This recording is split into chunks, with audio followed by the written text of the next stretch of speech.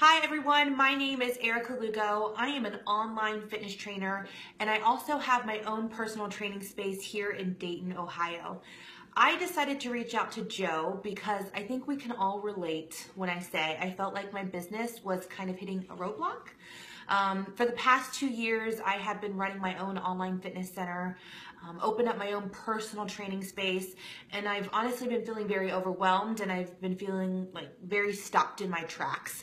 And I found Joe through a mutual friend who said she has been working with him and has seen great results. So I just decided to reach out. Um, personally, because like I said, it just felt like I was hitting a wall. Um, I've used all my own resources, all my own tools, and have taught myself everything to get to this point. But I feel like I, I can reach that next level. And I, I felt like Joe could show me how to do that. Um, after my first initial conversation with Joe, I am I am completely blown away. Um, honestly, he has taught me so much um, in our first initial conversation, which was keep in mind um, three hours long. He truly spends the time with you to get to know your goals, um, your passions, why you do what you do, and how to get you to that next level.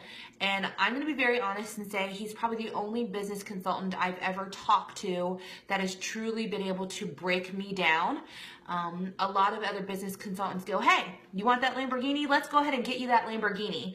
Um, Joe, sure, he wants to be able to get you to your goal, if that's your goal a Lamborghini, but um, he really tore my walls down and, and got me to admit um, where I'm lacking, where I'm really good at, um, that I deserve to make my business succeed, and that I am fully capable of making my business just blow up. And I am honestly really excited for the first time about where my business is going. I feel confident um, in the things that we talked about, and I really feel like I have a coach that is truly on my side.